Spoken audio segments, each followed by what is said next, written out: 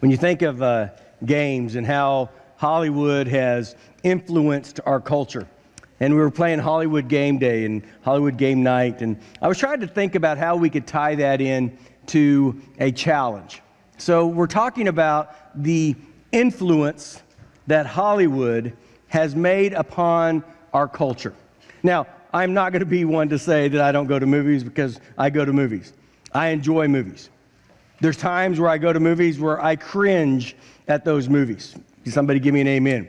You say things or you hear things or you see things that you know are a direct opposition of what God's word has for you to say.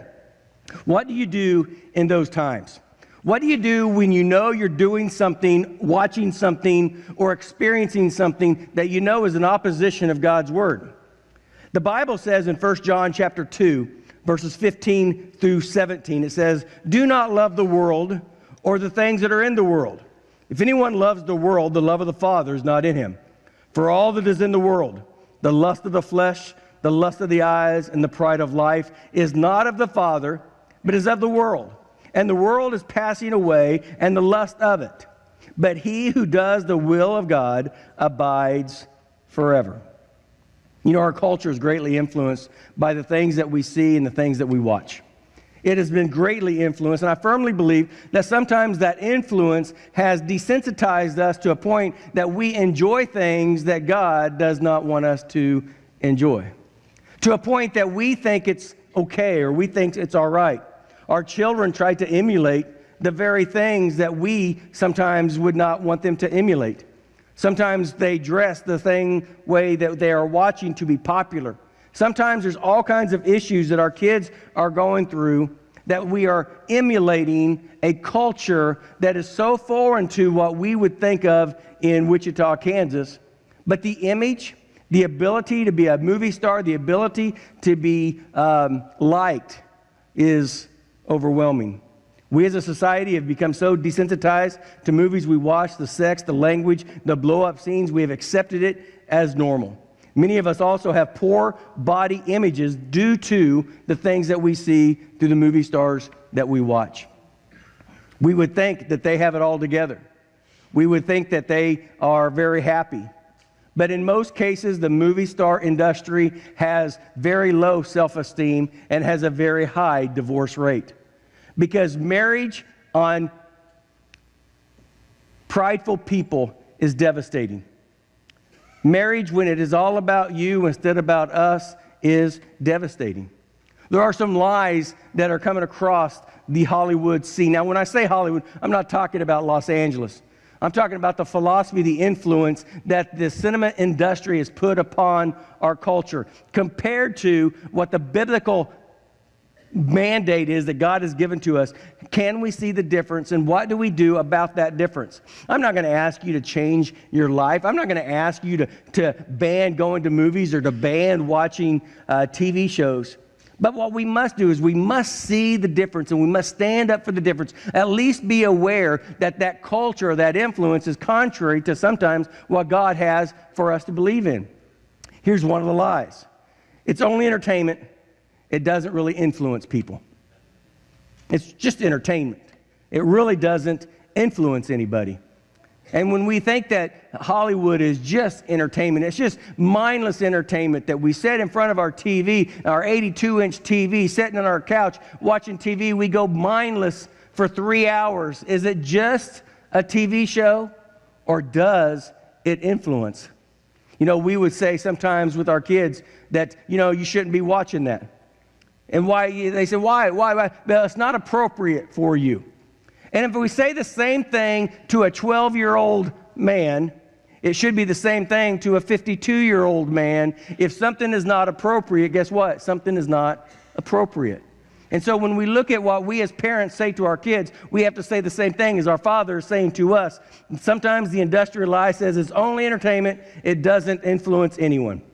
And the second thing, we just reflect reality. Don't blame us, blame society. Hollywood is just trying to put entertainment out there that people will flock to the entertainment industry too. It, it really is just a reflection of reality. And all they are trying to do is build movies to atta- attract individuals.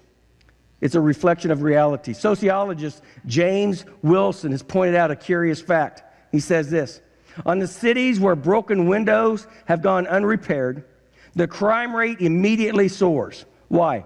The broken windows make an announcement to the public here, standards have been broken down. Here, no authority applies. Come and do what you like with consequences today uh, without consequences. Today, television and movies have become a gigantic broken window to the world.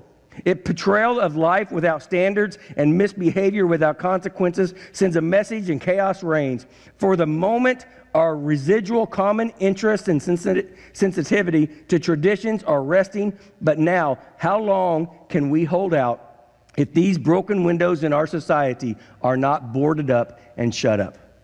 What happens is what we have is our kids are watching what we do. And our broken windows of our lives, and we have no watch over them, and we do not care. And what we enjoy, they will enjoy. What we entertain, they will entertain. Broken windows.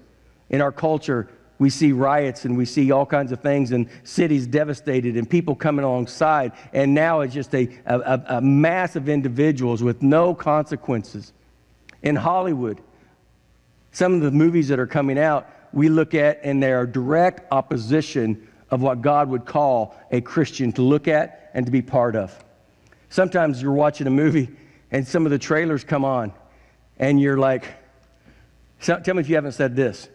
Wow, they are running out of ideas. How in the world did somebody even think that up? How depraved sometimes are we just to think that that is entertainment? Somebody spent millions of dollars to invest in a movie that you're looking at that and say, 60% of the Christian culture should never even think about going to that. But yet you throw a movie in that's a Christian base. And the first weekend, it's really good. But all the Christians go in one weekend. The second or third weekend, it's done, signed, sealed, and delivered out because there's no influence of the positive. Here's the lie number three we give the public what it wants. If people don't like it, they can always just turn it off. They can make, they can influence any way that they want, and then they say, I'm going to do what I want. It's your responsibility. It's your moral conduct. It's your moral code. If you do not like it, your responsibility is to turn it off. Now, if we had little kids, eight to nine year old kids, and they were watching something that you think was not appropriate, would you say, hey, when you think that's too bad, turn it off. If you, if you think they're going to do something that you don't want to watch or you shouldn't watch, just turn it off. Now, I have a couple boys that were growing up, and guess what? Their eyes would be glued to that TV until I came in and I turned it off. That's the moral compass that we have to have. It is not their job to make sure that we do or do not do our job. Our job is to make sure that we hold a higher standard, and our standard is one that honors God. So let's look at some misconceptions of what Hollywood has said and what they believe. Number one, that faith is not intellectual. Faith is not intellectual. And there are people in our world that believe this very same thing.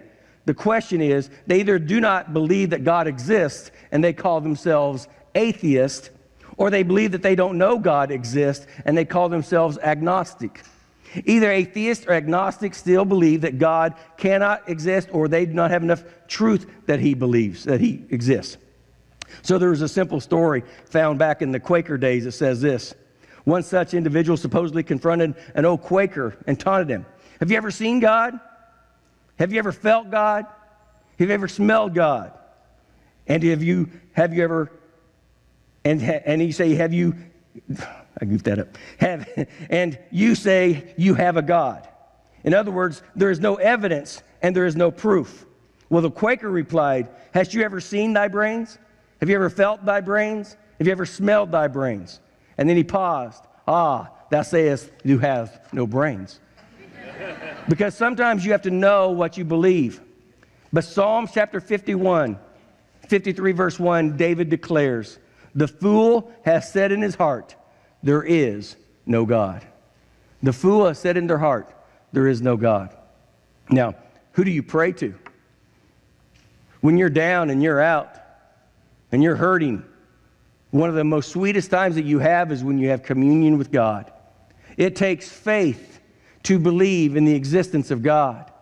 It is a fool that says, I can do this on my own. I don't need God. God does not exist, is what they are saying. But I would tell them that when you are out and when you need a presence and a peace of God, you don't pray to an individual and you don't pray to an idol. When their marriage is falling apart and your problems exist and people are dying, you get on your knees and you face God. And when you have a holy God that's on your side, and when you need something, God comes alongside you and He comes beside you and loves you. And then they say, God is not the creator.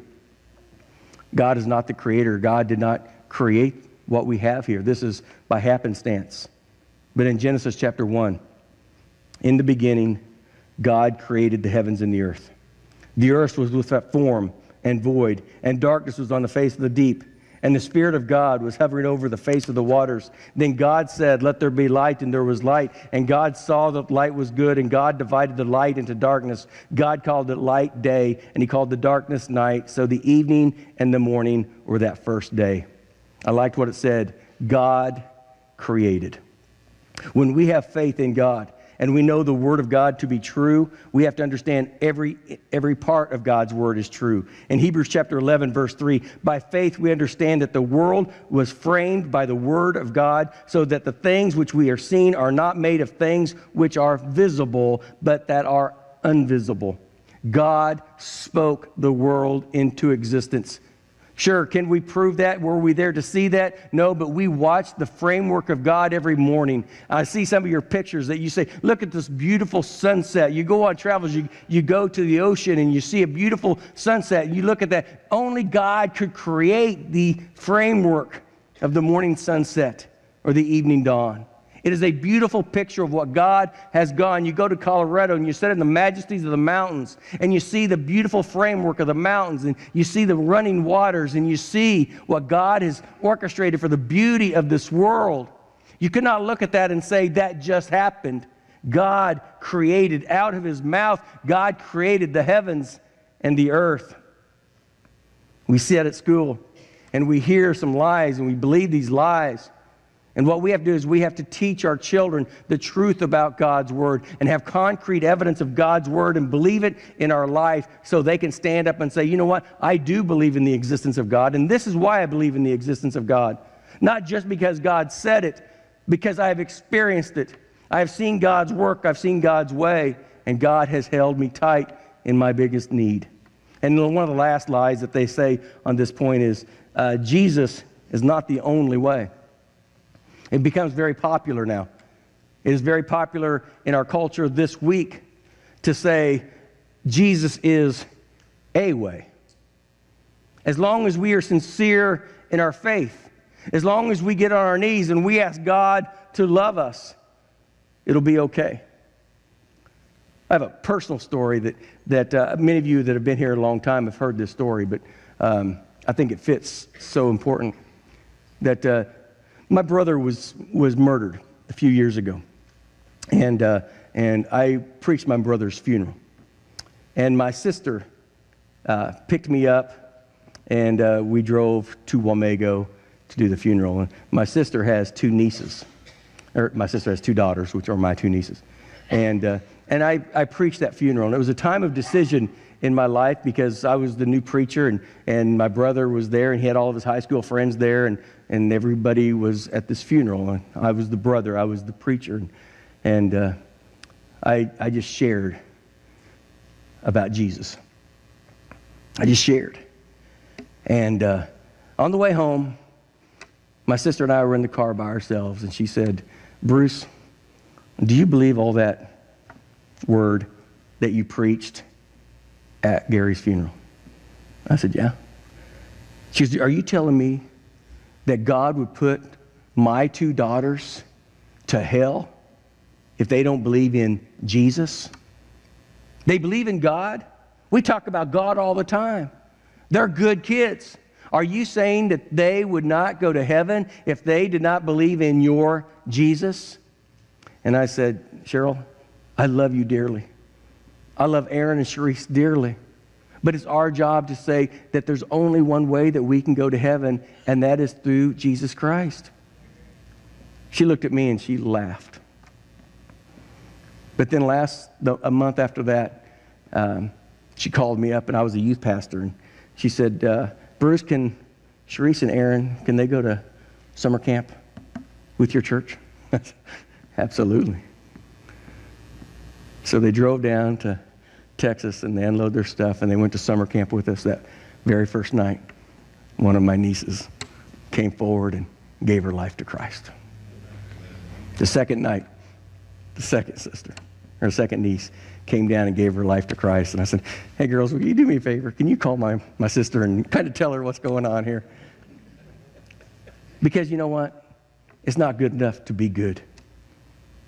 It's not good enough to know that there's a God. It's not good enough to believe in a God. It's not good enough to go to church. The Bible says, Jesus said to them, I am the way, the truth, and the life. No one comes to the Father except through me. It is not about Allah, and it's not necessarily about God. It's about Jesus through salvation. God is the creator, but Jesus is the redeemer. And if we believe in Jesus, we have been redeemed. But if they can take Jesus out of our culture, if they can make Jesus of no effect, the redemptive plan of God has been silenced by a society, by a culture that believes all you have to do is be good or all you have to be is be sincere. But God says, I sent my son to die for you. And I am the only way that you're going to get redeemed is by the blood of Jesus Christ. They can take it out, they can laugh at it, and they can mock it, but it doesn't change the fact that it is true. So when we preach Jesus, it's not about being good. It's not about being holy. It's about accepting Jesus Christ as our Lord and Savior. And any movie that takes Jesus out, takes the blood of Jesus Christ out, or any movie that mocks what Jesus Christ has done is contrary to the very word of God. So that goes to the next point. Sometimes they believe that God is love, and He is love only, so much love that you can do whatever you want. Now, God is love. But listen to this point so carefully God loved the world that he gave his only begotten Son, that whosoever believeth in him should not perish, but have everlasting life. But that word, world, is a word that talks about the people in the world. God loved people so much that he gave his only begotten Son. Let's look, if you have your Bibles, this is so important. Let's look at 1 John chapter 4, verses 7 through 21. It's a lot of reading, but it's very important. Because if you say God is love, what is the opposite of love? Has to be anger, hatred. God is love, but the opposite is God has anger. Opposite is God has hatred. There are things that God loves, and there's things that God hates. And if we love God, the things that anger God should anger us. The things that God loves, we should love. And if we do not love the things of God, and if we do not detest the things that He hates, what we're doing is we're in a flowing river with no boundaries, and we have no idea what we're going to do. But 1 John chapter 4, verses 7 through 21 says this Beloved, let us love one another, for love is of God. And everyone who loves is born of God and knows God. He who does not love does not know God, for God is love. In this, the love of God was manifested toward us, that God was sent his only begotten Son into this world that we might live through him. In this is love. Not that we love God, but he loved us and sent his Son to be the propitiation for our sins.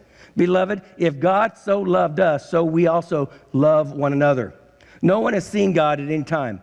If we love one another, God abides in us, and his love has been perfected in us. By this we may by this we know that we are abiding in him and he is in us because he has given us his spirit. And we have seen and testified that the father has sent the son and the savior of the world. Whoever confesses that jesus is the son of god god abides in him and he is in god. And we have known and believed in love that god has for us. God is love and he whoever abides in love abides in god and god in him Love has been perfected among us in this, that we may have boldness in the day of judgment. Because as he is, so we are in this world. There is no fear in love, but perfect love casts out fear because fear involves torment.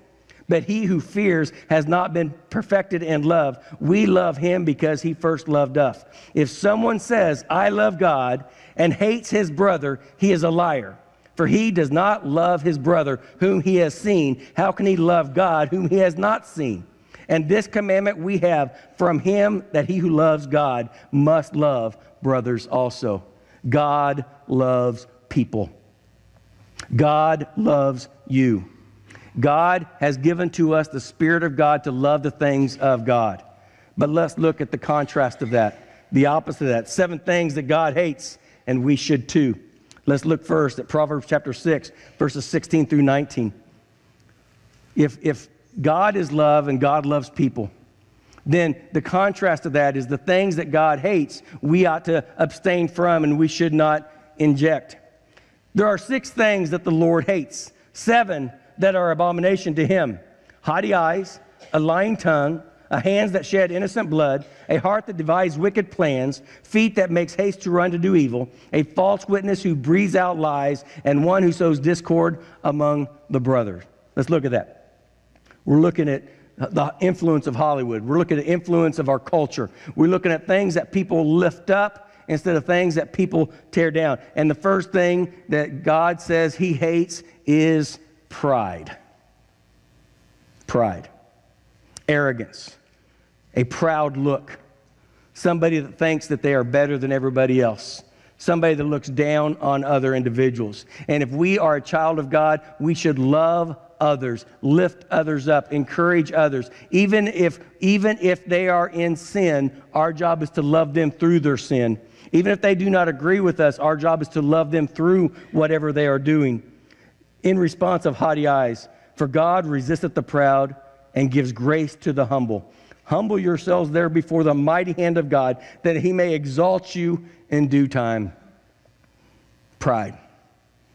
Pride is one of the most detrimental things of our society. In the United States, pride is crippling. Sometimes we are so prideful in our position we will do everything within our power to hold on to our power instead of allowing other people to influence us. Our politics, our positions, what we must do is we must humble ourselves and say, What does God want for us? Not what's best financially for us, but what is best for us. What does God say we should have? A proud look and then a lying tongue. He said, These things I hate. I hate a lying tongue. Say what you believe, say what you are, tell the truth. Not telling the truth is just saying the wrong thing. Sometimes we use our culture and we do the, the politically correct statement and say, oh, I misspoke. No. You what? You lied. You lied. God hates pride and he hates a liar. Lying lips are abomination to the Lord, but they deal truly are his, but they who do true are his delight. He hates liars. Hands that shed innocent blood. Hands that shed innocent blood. He that follow after righteousness and mercy findeth righteousness and honor. But God says he hates those that shed innocent blood. Number four, a heart that devises wicked plans, plotting revenge, conspiring to deceive and to hurt other people, whether it's a Ponzi scheme for finances or whether it's a plot to hurt or to kill somebody, a heart that is divisive, a heart that's trying to cause problems, feet that make haste to do evil. These are things that God says He hates. Feet that make haste to run to evil things that you look forward to doing that are contrary to God's word. If you're looking forward and making plans to do things that God hates, we have a problem with God's love and God hatred. What we're doing is we have been desensitized to what God truly wants for our life. A false witness who breathes out lies, falsely accusing someone of the misbehavior and not accepting that responsibility for themselves. In Proverbs chapter 3, it says, Let not mercy and truth forsake thee. Bind them about thy neck, write them upon the tablet of thine heart, so you shall find favor and a good understanding in the sight of God and man. We need to tell the truth. We need to lift and encourage other people. But one thing that we cannot do is cannot let other people lie and let them by with it. We must stand for the truth of God's word. And the last thing that he says, he says six things he hates, and the seven things an abomination. One who sows discord among the brethren. he goes into this and he said, This is the last thing, and this is one that he hates the most. Those that sow discord amongst the brethren. Loves, he loves the church. He loves the church so much, he sent his son to die for the church. And one thing that he loves, he loves unity within the body of Christ, and he hates discord among the church. He hates lies, and he hates rumors, and he hates church splits because it causes division within the body of Christ. And what we must do is we must hold on to one another, listening to gossip and repeating gossip, slandering and repeating truths that will harm other individuals, leading others to imagine the worst about something or about someone. I've used this illustration many times. But here's what God, here's what Satan does. In, in our worst case scenarios, whether it's in a church setting or whether it's at your job or whether it's in your marriage, he takes the worst day that you have he takes the worst fight that you've ever been through. He looks at your checking account at the worst possible moment. He looks at your marriage at the worst possible day. And Satan takes a snapshot and puts that on your refrigerator and says, There it is. That's as good as it's going to get. And every morning you get into that refrigerator and you look at that snapshot, you look at, that's what I get. And so long we look at that and then we start believing that that's as good as it gets because it's a snapshot in time that's a very low point. But here's what God does He said, Get rid of that snapshot because I am here and I want to give you life and I want to give you life more abundantly. And I'm not going to keep you at the low point. I'm going to bring you through the low point to the high point. We have to have faith in God. And what we must do is we must look at a snapshot and say, that is for me to pray, to get out of, to make better, but not to live in. I cannot believe the lies of Satan. What I must do is I must stand firm and hold on to the truth of God's word. There's a bigger picture than the snapshot. There's a bigger picture of one moment in time. So many people that have done stupid things within their own life have done things because of a snapshot. They think it can't get any better. They can't see tomorrow. They can't get through tonight. So they end their life and they end relationships because of a snapshot that Satan has put in their face and they believe that lie. What we must do is get rid of that and believe in God and believe that God has given to us something greater than a moment of time. He gave to us a life that's greater than that. And that gives to our third point. They want you to think that the world and its philosophies can satisfy your every need. That the world and the philosophy can satisfy your need. Beautiful ladies dressed up in gowns a handsome man driving a Lincoln Continental. They believe that if you look at this, you can glamorize and you can be just like them. You can look at them and say, wow, if I could emulate them, I could have all this. If I could lose 150 pounds and weigh 95 pounds, I can be perfect and people will love me. If I can get on a diet and if I can look good, I will have everything at my disposal. And you find out in Hollywood, just because you look really good doesn't mean you're really happy. Just because you have a large bank account doesn't make you very happy. See, some of the most unsatisfied people in the world are the people that have almost everything. But having things does not equate to being happy. What equates to being happy is having Jesus. What equates to being happy is understanding where your happiness comes from. Because if our happiness is involved around our surroundings, if our happiness is because I have a good day, if my surroundings, I, ha- I have a good paycheck, I have a good month, if I've lost five pounds, if that is my happiness, guess what? We are going to be miserable every day. But if I can look at my life and say my joy is foundational and it's in Jesus and my hope is in Christ and my future is secure, I do not have to worry about this world satisfying me because I know it is fickle. I know that it won't happen. It will not happen. They have glamorized the thought of more money will make us happy.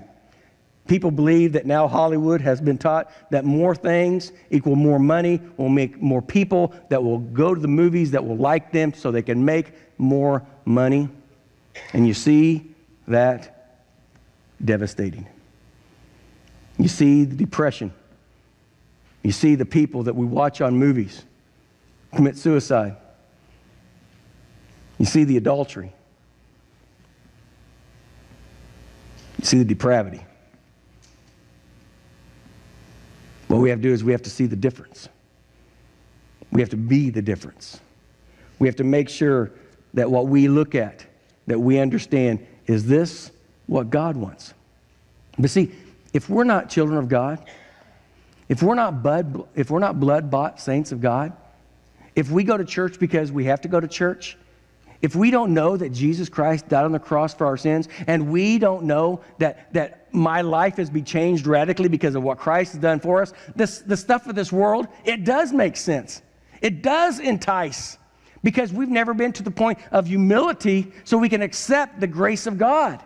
But once we've been broken to the point that I understand what Jesus Christ has done for me, I understand my satisfaction is not on who I was and what I did. My satisfaction is where I went. I went on my knees before Christ. I have accepted him as my Lord and Savior. Now I understand where my satisfaction comes from. It's not satisfying to be in my sin. It's satisfying to be saved. It's satisfying to be redeemed. It's satisfying to know that I'm going to heaven. That's where I get my satisfaction. Now, after we know that, what do we do with our satisfaction?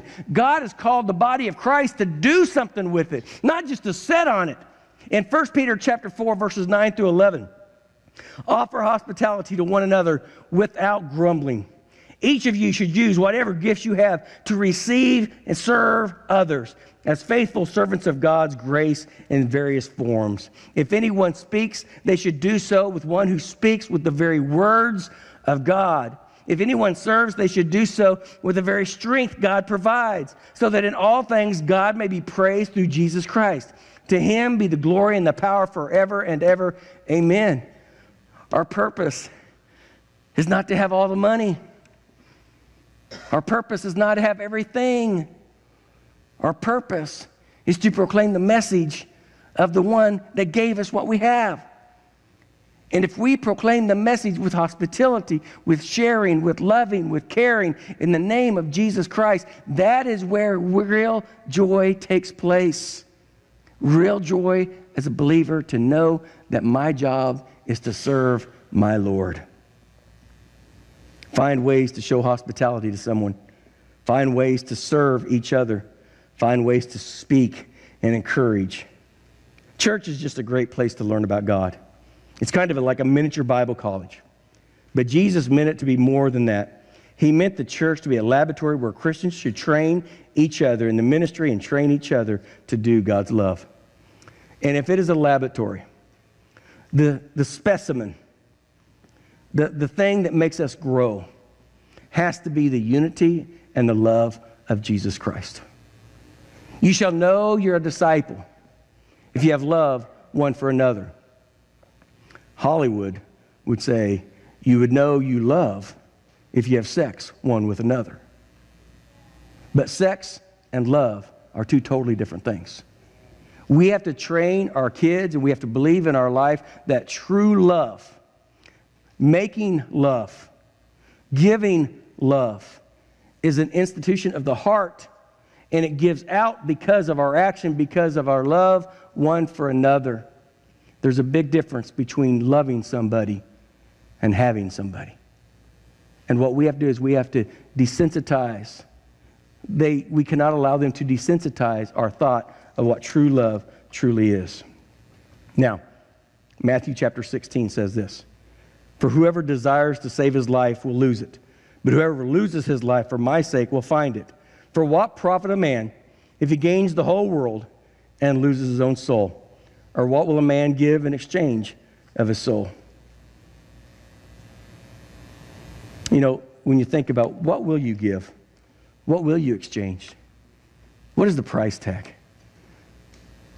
Jesus gave his life for you. And he's not asking us to do that. He's not asking us to lay our life down. He's asking us to give our life up. He's asking us to serve. He's asking us to do things that he, he can only do through us. Many people spend their lives enjoying the lives of the rich, but they don't realize the money and the world cannot truly satisfy. The true satisfaction in a Christian life is serving someone that cannot serve themselves, doing for someone without them asking for them to be done. When you serve, when you love, and when you help, you're doing the contradiction of the Hollywood philosophy in this world. Their philosophy, bottom line, is to get. What's in it for me? The Christian, our philosophy must be I want to give. I want to serve. I want to give my life. I want to do things for other people, not to lift me up because God resisteth the proud, but to humble myself. So the gifts that I offer, the resources that I give, the help that I give, I give on my knees before God and say, God, use them. Use them whichever way you want, however you want me to be used, whatever you want me to say, whatever you want me to do. It's not about me. I am humbling myself before you, and you are giving me the satisfaction within my life, the joy that I need, the contentment that I need. And it's not about me. It's not about pride. It's not about what I can do and what I can't do. It's all about what God can do through me. We are a conduit for God's blessing. And whenever we think that it's us, it's all about me, it's all about what I have, look at me and look what I can do, that is pride. And God says He resisteth, He turns back. He repels the pride. You may be the best singer. You may be the best preacher. You may be the best teacher. You may be the best at something. But when we know that we're the best of something and we show everybody that we're the best of something, God resisteth that. But in our humbled state, when we can say, Lord, use me. Lord, just let me say the right thing. Let me do the right thing. Let me give to the right cause. Let me love the right way. God says, out of your humility, I will give you peace, contentment, satisfaction. You will be able to close your eyes at night, not worrying about what you have, but you're thankful for what you did. And when you can do that, that's satisfaction. That is peace. That's what God wants within our lives.